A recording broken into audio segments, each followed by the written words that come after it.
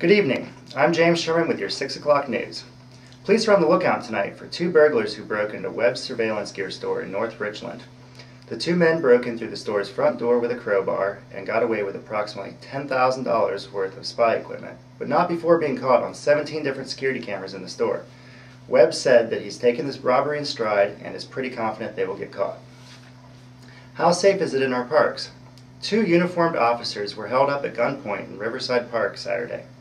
33-year-old Jermaine Washington pulled what turned out to be a fake handgun on two armed police officers as they walked through the park. Believing they were at gunpoint, the officers drew their real weapons. After a short but tense standoff, Washington surrendered and was arrested.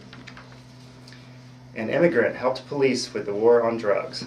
Jose Guadalupe Flores helped police apprehend the owner of 15 pounds of marijuana. Deputies arrived at a house in Hidalgo County to find the door kicked in and 15 pounds of pot lying on the floor. While still on the scene, deputies were approached by Flores. Flores then told the authorities that two masked gunmen had ransacked his house and stole 150 pounds of marijuana that he had been wrapping for shipment. Flores, who turned out to be an illegal immigrant from Mexico, was then arrested for felony drug possession and is being held without bail until trial. A theft that just doesn't add up. A man who tried to steal a cash register a man who tried to steal cash from the Dunkin' Donuts outlet on Post Road on Monday night fled with an adding machine that he apparently mistook for a cash register. The police said an unidentified man walked into the donut shop and handed a clerk a note saying that he had a gun and a bomb and that he would use them both if he didn't get cash.